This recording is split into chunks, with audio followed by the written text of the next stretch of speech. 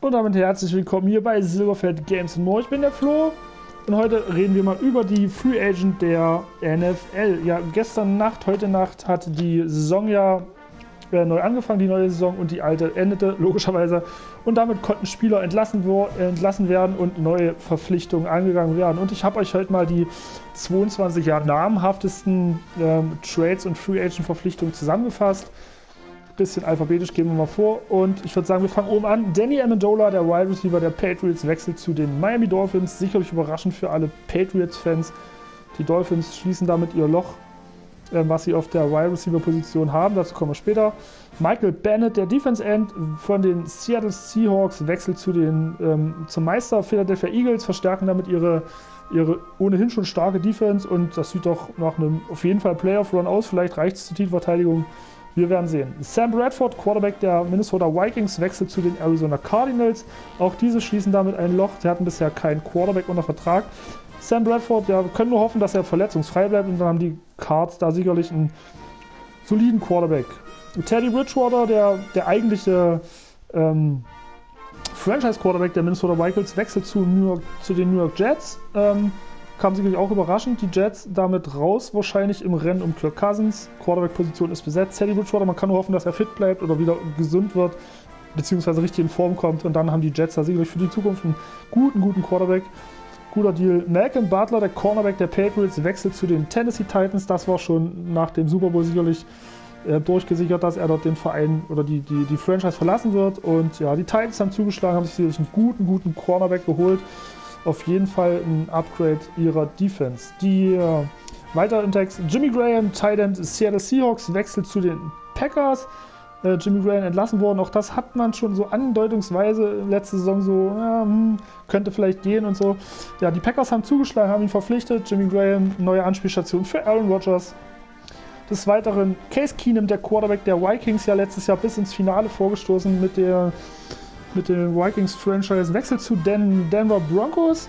Das sicherlich auch überraschend da. Die Vikings damit alle drei Quarterbacks entlassen. Und die Broncos haben ihren Starting Quarterback dann gefunden, ähm, haben ja noch Paxton Lynch und ähm, Brock Osweiler auf dem Raster stehen, aber ja, ich denke, Case Keenum dort gute Chancen da, den Starter inne zu haben. Dann haben wir einen Trade, Deshaun Kaiser, Quarterback, Second Round Pick letztes Jahr von den Browns, der wechselt zu den Green Bay Packers. Sicherlich überraschend.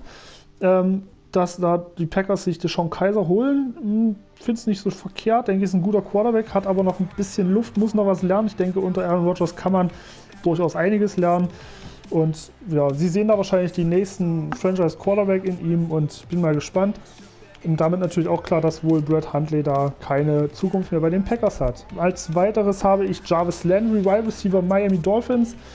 Ähm, guter Wide Receiver, hat die letzten drei Jahre quasi zweimal eine 1000-Yard-Saison, über 1000-Yard-Saison hingelegt. Letztes Jahr unter, trotz des Quarterbacks Jay Cutler, ähm, 900 und ein bisschen Yards, also richtig guter Mann. Der wechselt auch zu den Cleveland Browns, die damit wieder einen neuen Wide Receiver, eine gute Waffe haben, da ähm, in der Offense. Guter Deal und ja, die Dolphins haben ja das Loch dann gleich gestopft mit Danny Amendola. Des Weiteren, Dion Lewis, der Running Back der Patriots, ja letztes Jahr im Super Bowl richtig gut abgeliefert, wechselt zu den Tennessee Titans, damit für Henry eine Konkurrenz äh, und äh, DeMarco Murray kann da wohl gehen.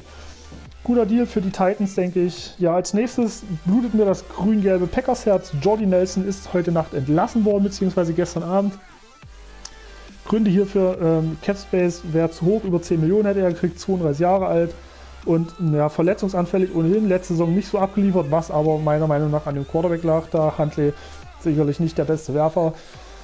Ja, Jordi Nelson, ich wünsche mir oder hoffe für ihn natürlich, dass er nochmal einen Verein findet, dass er noch ein bisschen spielen kann. Guter Mann wird immer wahrscheinlich in den Packers-Fan-Herzen bleiben und ja, wurde offiziell ähm, entlassen, wurde offiziell auch verabschiedet, also da denke ich kein, keine Wiederkehr ja, Jordy Nelson entlassen. So, Marcus Peters, Cornerback der Kansas City Chiefs, richtig, richtig guter Mann, ähm, wechselt zu den ähm, Los Angeles Rams, die damit ihre Secondary verstärken.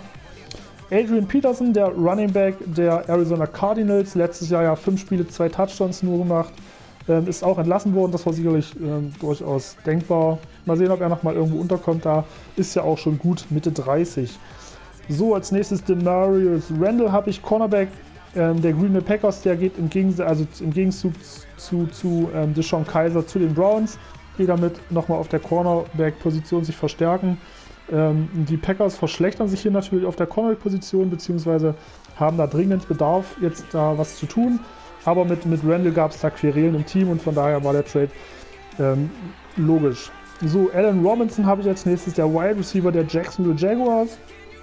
Letzte Saison nur ein Spiel gemacht, glaube ich, ähm, aber davor die zwei Jahre war er richtig gut. Guter Mann, wechselt hier zu den Chicago Bears und damit bekommt Mitch Trubisky eine neue Anspielstation. Sicherlich ein guter Trade für die Bears, wenn dann Meredith wieder fit ist, hat er Trubisky zwei gute Wide Receiver in seinem Kader. So, als nächstes Richard Sherman, Cornerback Seattle Seahawks, wechselt zu den 49ers. Das ist ja schon durchgesickert vor ein paar Tagen, heute offiziell bestätigt worden. Ja, wenn die Achillessehnen-Sache da wieder richtig äh, heile wird und Sherman wieder in Form kommt, sicherlich ein guter Deal für die 49ers.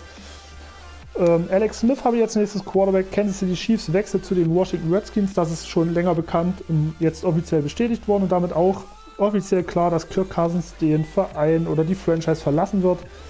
Ähm, der Vertrag wird dort nicht verlängert mit den Redskins und ja, haben in Alex Smith ihren neuen Quarterback gefunden. Sicherlich kein Zukunftsquarterback, er ist auch schon 35, glaube ich. Also sie müssen gucken.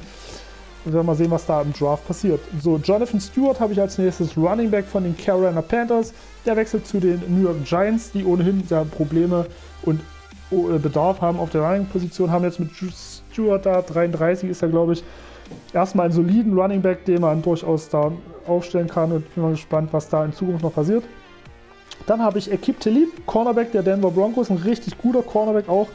Einer der besten sicherlich seines Fachs, ein bisschen so Bad Boy Image ähm, hat er. Und ja, der wechselt auch zu den LA Rams, die dann mit Peterson und Ekip Talib zwei richtig gute neue Cornerbacks haben. Und das kann sich durchaus sehen lassen, sicherlich. Was die, das Tandem Cornerback betrifft, die beiden Besten da auf ihrer Position, also zusammengenommen, ne, haben die Rams da jetzt ein richtig starkes Backfield. So, dann habe ich Tyron Taylor, der Quarterback der Bills tradet zu den Browns. Das ist sicherlich auch überraschend. Die Bills haben damit ähm, nur noch Ibims der Petermann als Quarterback, müssen definitiv was machen im Draft. Ähm, glaube nicht, dass da ein Kirk Cousins hingeht. Ja, und die Browns haben damit ihren Starting Quarterback gefunden, Tyron Taylor.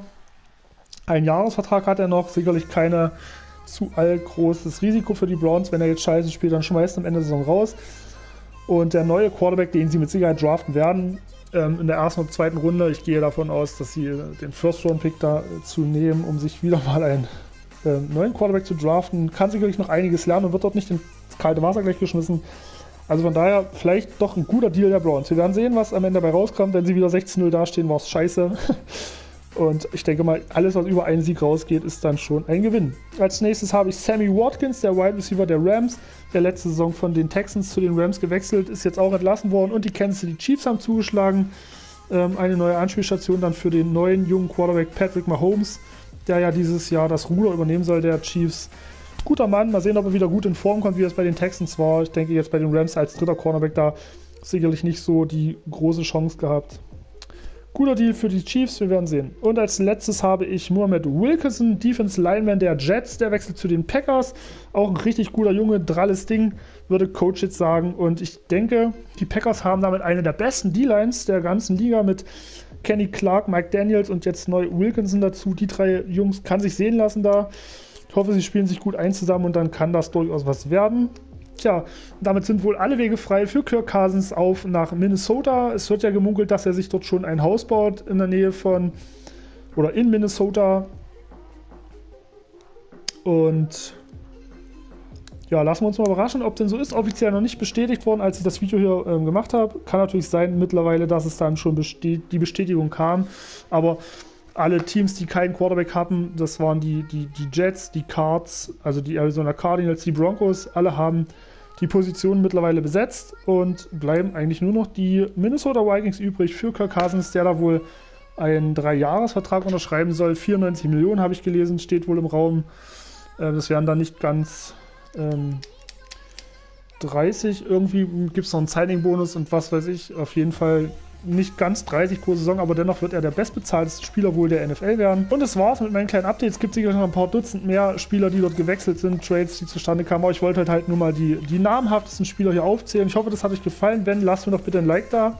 Solltet ihr noch was ergänzend ähm, dazu haben, könnt ihr es gerne in die Kommentare schreiben, würde ich mich mega freuen. Und wenn ihr wollt, lasst mir doch ein Abo da, auch das würde mich mega freuen. Und dann sage ich viel Spaß mit der neuen Saison der NFL. Viel Spaß beim Draft, der ja in einem Monat ansteht. Auch da sind wir sehr gespannt, wer da was holt, wer da noch wie tradet. Ähm, die Bills brauchen aktuell ja noch einen Quarterback. Denk ja, wir sind gespannt. Wie gesagt, ich freue mich mega, bis es wieder losgeht im September. Und danke fürs Zuhören. Ich bin der Flo. Ich bin raus.